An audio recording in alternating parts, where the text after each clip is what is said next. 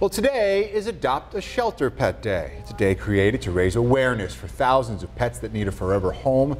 And that's why we decided to swing by the Erie County SPCA and chat with this cat.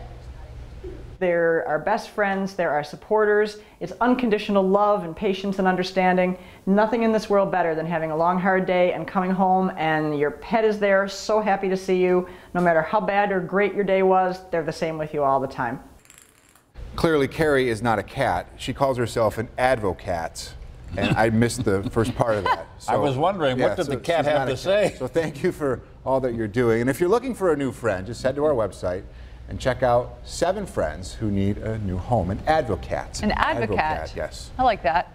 I'm never allowed to go to these these uh, things because I always want to walk home with one of the pets. Right. Or two or three. Or two or Or- three. yeah. I know, I know. It's uh, it's tempting when you go there because they're so nice and you want to Yeah. grab Pack a them couple. all up. Yeah, take them. Maybe someday I'll do that. I don't know. Give Frank.